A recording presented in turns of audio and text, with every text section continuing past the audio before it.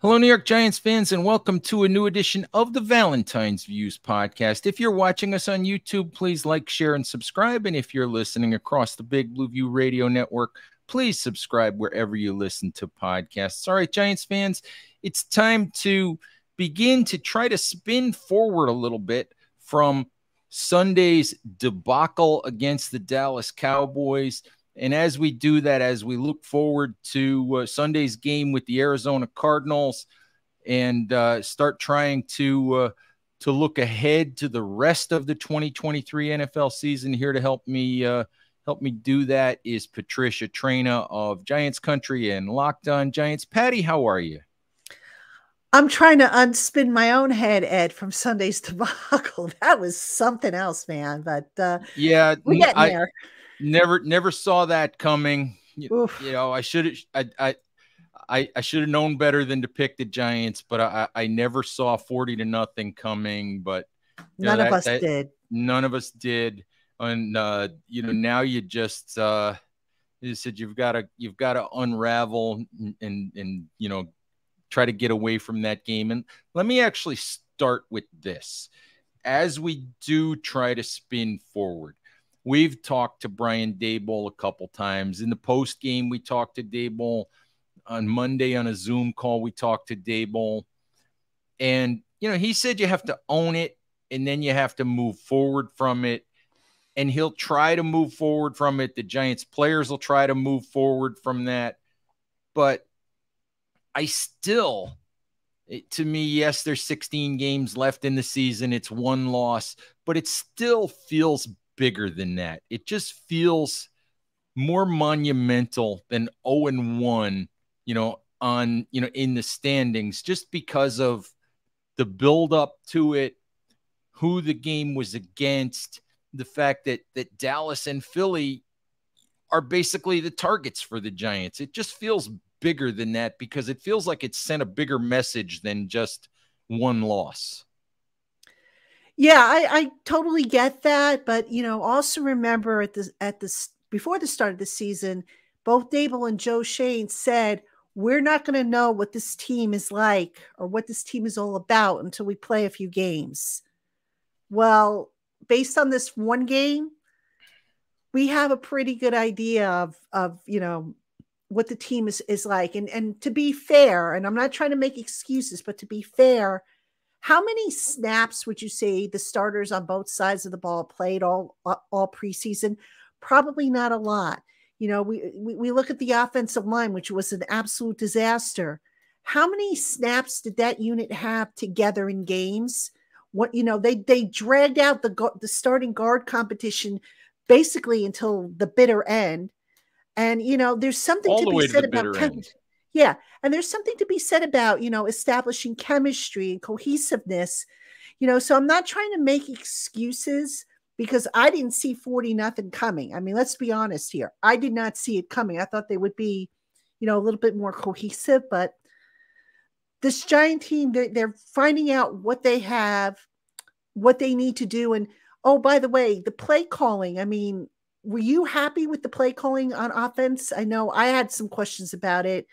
But I don't know. Maybe I'm the only one who who thought that they shouldn't have given up on the run as quickly as they did, you know, and and and just gone to the pass on a night that was sloppy, that was wet, that the offensive line couldn't block pass block for for you know their lives. So I, I don't know. Just it just seemed like from top to bottom, the whole team was just out of whack. And we just hope that moving forward, they get together and and clean up a lot of these issues that they had in the, the season opener. Agreed with that, Patty. The one thing I'm not so sure that I want to criticize the play calling. I mean, I look at it and I think it was 16 to nothing 13 minutes into the game. It was 26 to nothing at halftime. You know, what what point is there in running the ball at some point? At what point is there in running the ball unless you're just trying to keep the clock running and get the game over with. At, well, at some, I, I get it, but it's at some point, at some, you're not gonna, you're not gonna get back in the game running the ball. No, you're not. But but hear me out on this. It was sixteen nothing, if I'm not mistaken, after the first quarter. Am I right? Mm-hmm. So you've got three quarters to catch up. I, I just felt like they they went away from maybe the strength of their game plan. Now I could see the argument being made in the second half, you know, when the game really got out of control, but teams have come back from, you know, 16 point deficits. It's been done before. So I just felt like the play calling on offense that maybe they moved away from the run game a little too soon. Because I mean, they were having success on that first drive. I just did, you know, I just wrote something for Giants Country. I think they had um, Barkley and Matt Breida run the ball on half of the drives. They had a 10 play drive before things started going backwards for them, and they were running the ball and they were moving the chains. They went from their 25 all the way down to the Cowboys' eight before they started going backwards. So after that, it was like, okay, what happened here? It's it's almost like they panicked or something. So that was, you know, to me, that's that's an issue I had with the game. I get it in the second half. Okay, we got to try and clean things up. We got to catch up and everything like that. But your your offensive line's not blocking. The weather is garbage. You know, it's not conducive to, to, to the to the you know the passing game. I was just surprised that they didn't run the ball a little bit more to try to get something going and then maybe see if they could set up the pass for better success. No, I, I get it. I just I think that among all of the issues that they had, I mean, the play calling just wasn't one that that that I focused on anyway. I mean, the big issue, we all know what the big issue was, Patty. The big issue was, of course, the offensive line and specifically the right side of the offensive line.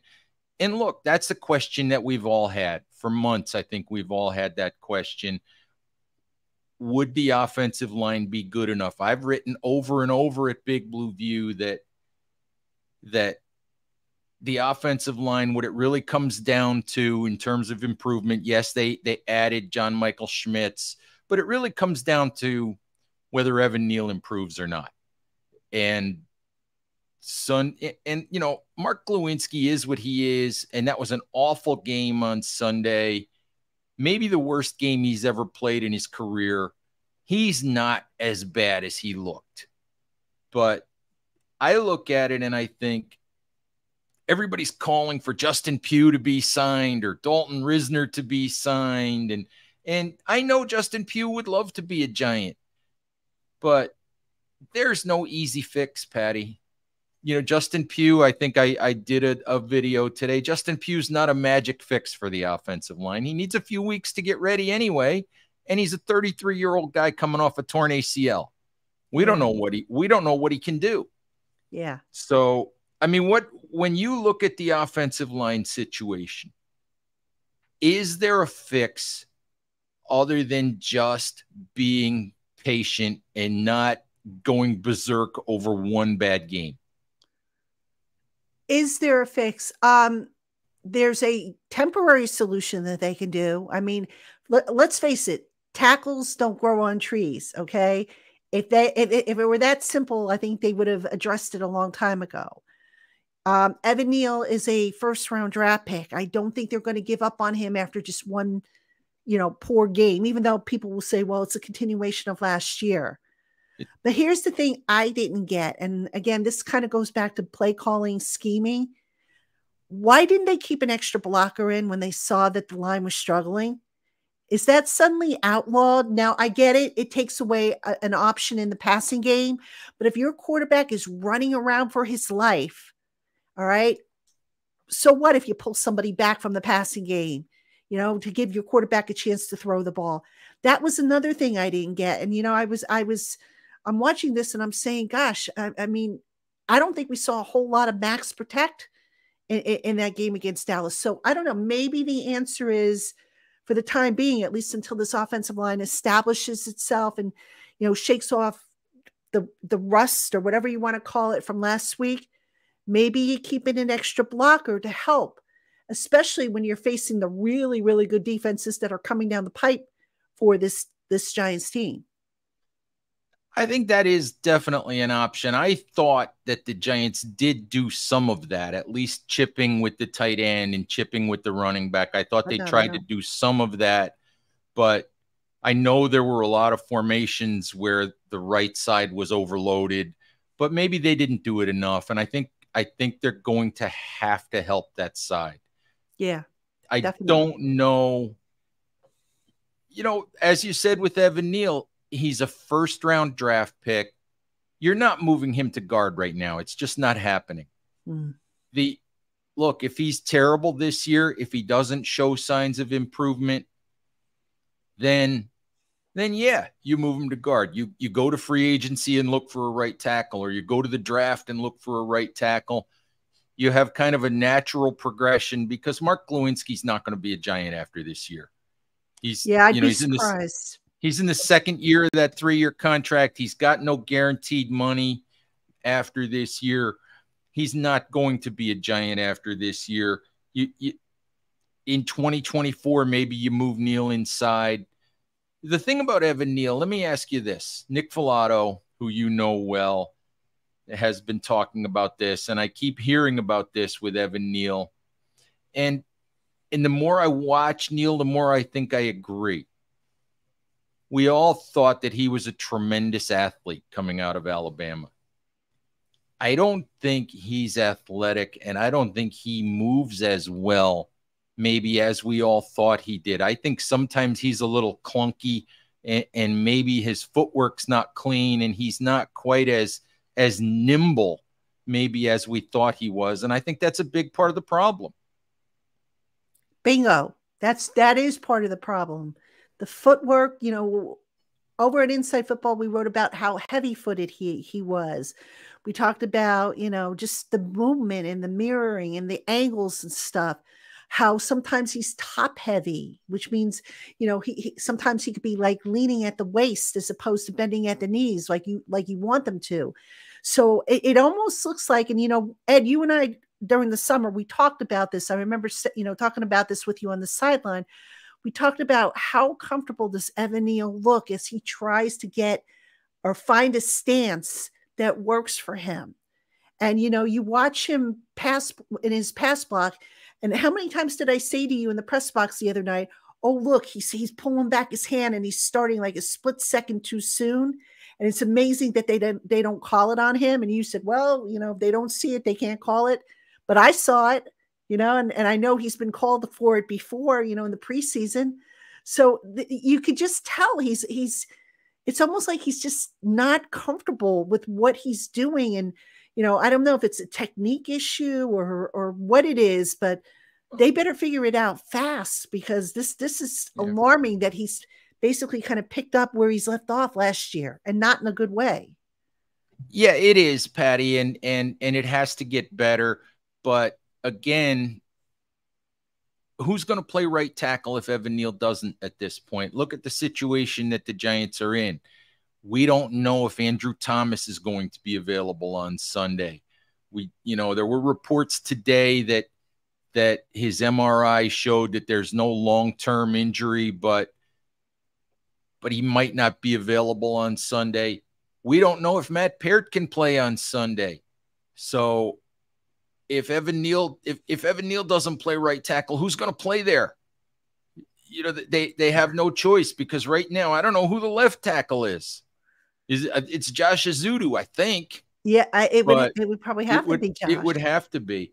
But you know, just the the only other thought I have on Glowinski is look, if things go south and he continues to play poorly, you can go to Marcus McKethan eventually, or you can go to, you know, you, you can go to to Ezeudu if he's able to move in back inside, or you you could even dust off Shane Lemieux. You could do something, but but but really the answer the, the, the long-term answer probably doesn't come until the draft or or next off season. They're going to have to make do with what they have and and it, I just keep coming back to the fact that the offensive line whether it gets better from last year or not comes down to whether or not Evan Neal gets better. That's just where it is.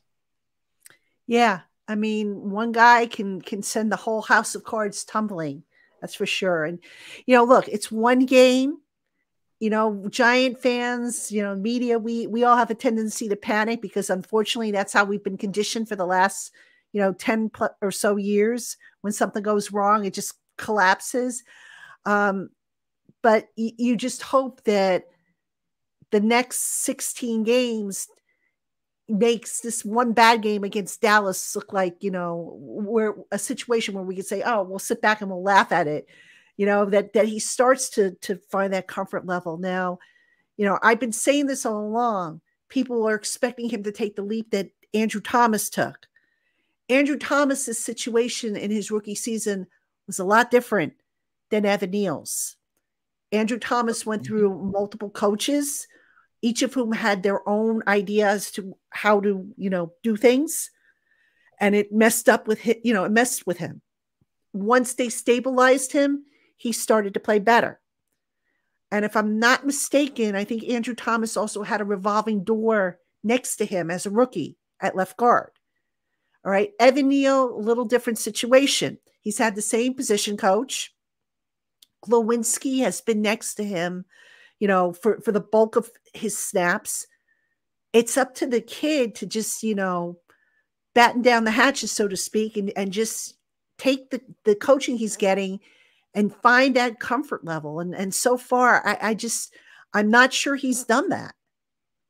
I would agree, Patty. Part of it can be sometimes when you are changing your technique, when you are learning something new, it's a confidence level sometimes too because you can you can rep it in front of a mirror or you can rep it on air you know, a million times but when you're in the line of fire against Micah Parsons or Demarcus Lawrence or you guys running you know running twists and stunts and all kinds of stuff against you if you're not 100% comfortable yet you revert to old habits I think exactly. we've, you know, we've all anybody, we've all done that a, as athletes. I think we've all done that. It it it happens, and and I think you just have to hope that he that he settles in.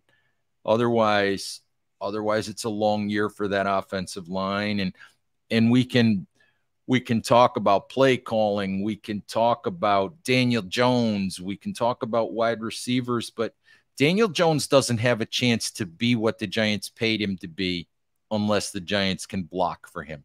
The wide receivers and Darren Waller have no chance to make an impact.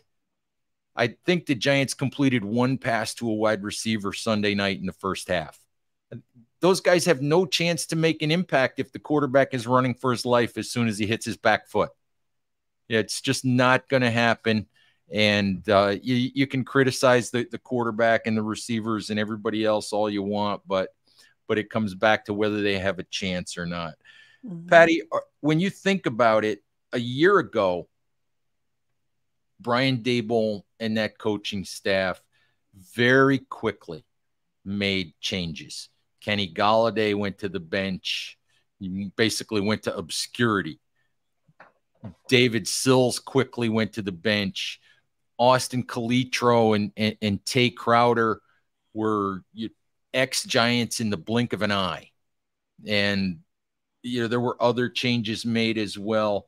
Other than the offensive line, we talked to Daboll about the potential for changes this week, but other than the offensive line, can you see any place else that that they that they might want to tinker with? I can't really I can't really think of anything else that, that they can do except you know get back at it and and try to correct some of the mistakes.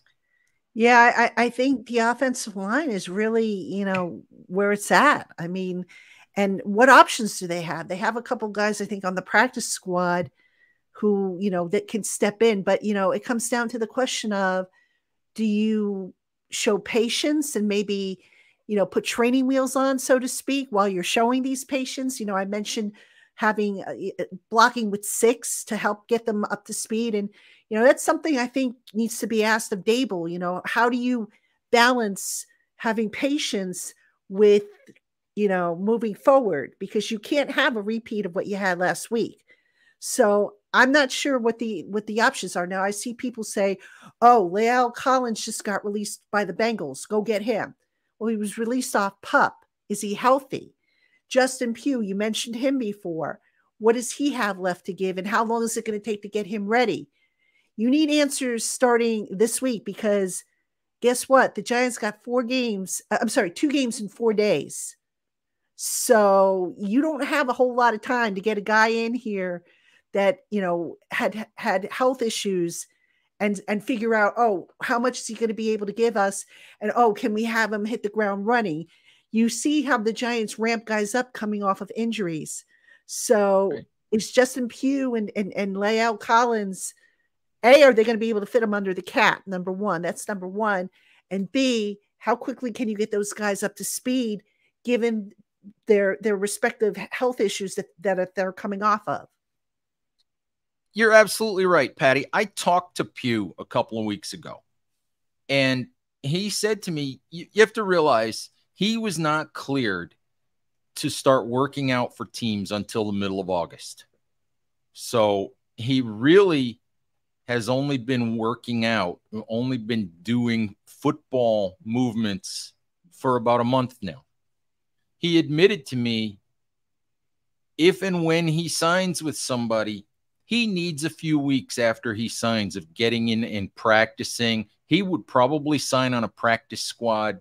If he were to sign tomorrow, he's not playing until at least week four or week five most likely the same thing with a guy like La'el Collins. He mm-hmm. he's been on pup. He tore an ACL. I, I looked it up a little while ago. It was week 16 or week 17 last year. So he can't be 100% healthy yet. It may be soon that he's 100% healthy, but he's probably a guy that doesn't help you until midseason. Mm-hmm. Not to mention the fact that the other thing I looked up were his grades, and he was bad last year. He was bad. So you're getting so yeah, he's a nice name and everybody knows who he is. And if you and and there was a time when he was a really good player, but he's an injured player who was bad last year. So mm-hmm. what are mm-hmm. you getting? You know, what are you there's a reason why Cincinnati cut him. You know, yep. so what what are you getting? just because you know a guy's name, we've talked about this for years, Patty. Just because you know a guy's name and you know he used to be good doesn't mean he's still good. Yeah. No, absolutely. And and that's that's a mistake. You know, it's like every time a guy gets cut, everybody's like, "Oh, the Giants should look at it." First off, I do think the Giants look into everybody that hits hits the streets, so to speak. But you know, that doesn't mean you should run out and sign a guy. You have to be practical. You've got to, you know, again, Evan Neal, yes, he's had his struggles, but he's a first round pick. All right. And I, I just think that they're going to be a little bit more patient with him. I don't see them turning around and saying, okay, Evan, you're going to the bench. Um, because, like you said, like we said, who's going to play that position, especially if Andrew Thomas can't go this week? You know, Mark Glowinski, maybe they have a little bit more flexibility there. You know, do you do you dust Shane Lemieux off and see if he can play there? Do you maybe flip Ben Bredeson, who worked at, at right guard in the summer, put him there and put Lemieux at left guard? Whatever you're going to do, I would say do it sooner than later. So that would be a place maybe if they were going to make a change, I would say maybe look to see. But at tackle, I think their hands are tied right now.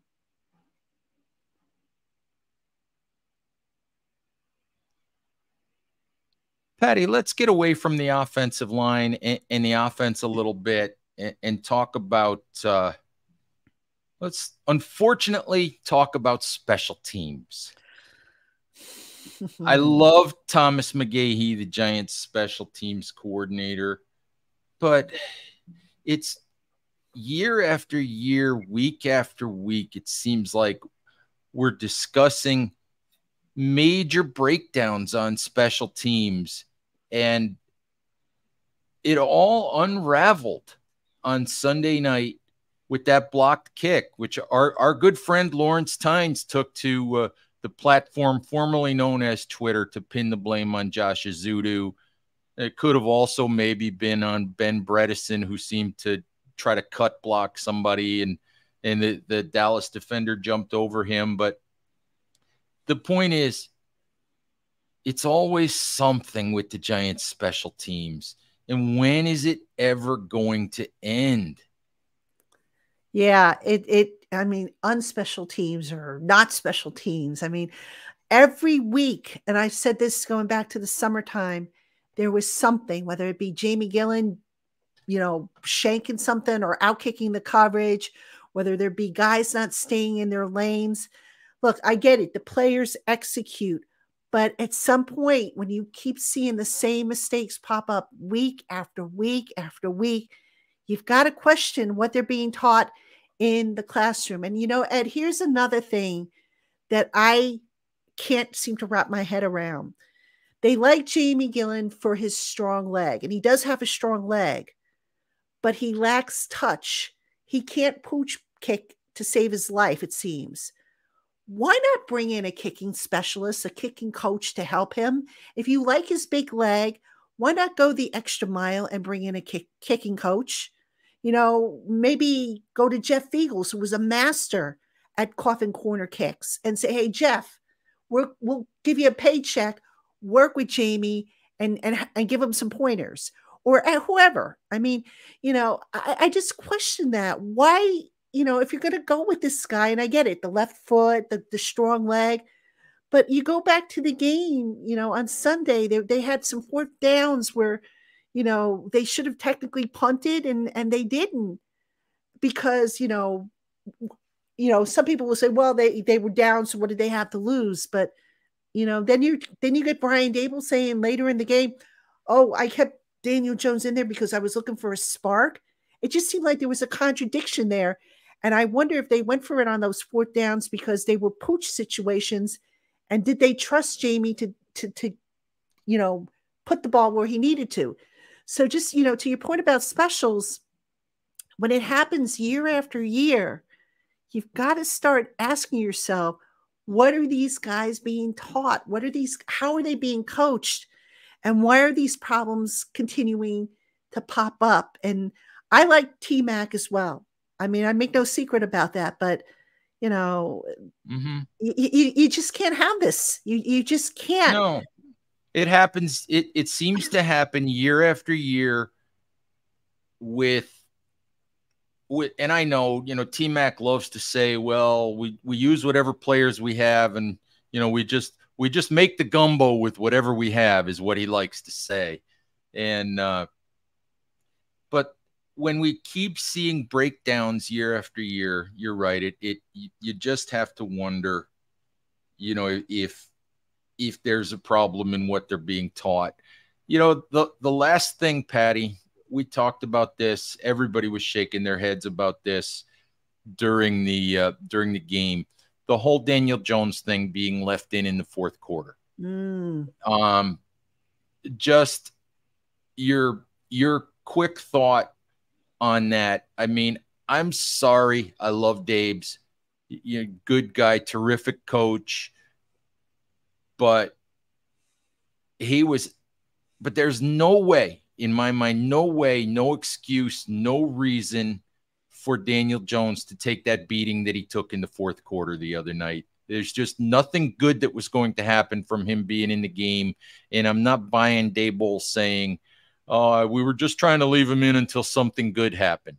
Nothing good was ever going to happen at 40 to nothing. I'm sorry no, yeah, I'm with you 100% on that.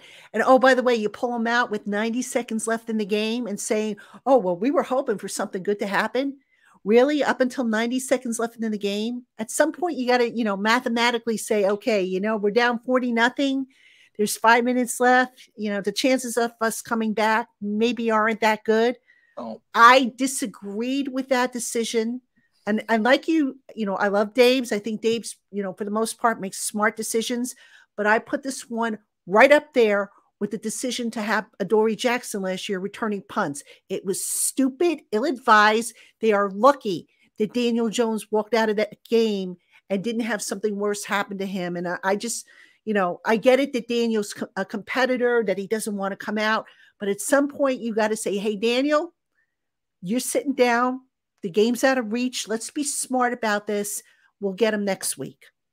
Absolutely. I wrote that at Big Blue View on Tuesday as well that that to me, those are the two situations where Daboll has made mistakes with Adoree Jackson. There just was there just was no benefit to Adoree Jackson returning punts because he hadn't done it in several years.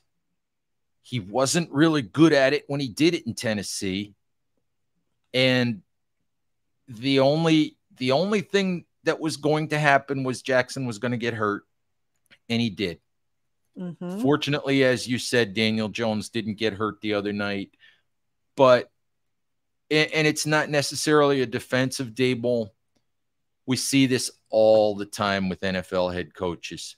They don't recognize when they've won a game and it's time to get their star players out of there because oh, no lead is ever safe. Mm-hmm. And they don't seem to recognize when to raise the you know, raise the white flag and move on to next week. And it's it, it it mystifies me sometimes that that they can't. I was I was looking at the game the other night, going, does Daboll not see the hits that, that Jones is taking? You know, I, I was like, is he not looking at the game? I don't know. Yeah. And anyway. this, you know, just real quick, Ed, to the point about Adoree Jackson. If you remember when they put him back there, what was their depth situation like at cornerback? So you got to be smart about these things. I get it, not coaching scared, which Daboll doesn't do, but you have to be smart and say, okay, can I really afford to put my CB1 back there when my depth is, you know, kind of iffy? Can I afford to keep my QB1 in a game that's really a lost cause? Because hey, you never know. Maybe there'll be a spark and we'll, it will instead of 40 nothing, maybe it'll be 40 to 20. Yeah. Come on. Yeah. Didn't make didn't make any difference. Didn't make any sense. Anyway, Patty, let's cross our fingers and hope that uh, that we don't sit through another 40 to nothing debacle this season, next season, or ever again. oh my. All right. Je- Patty. Yeah, Patty, thank you very, very much for the time. Giants fans, thank you as always for listening. Please stay safe out there. Take care of each other, and we'll talk to you soon. Bye bye.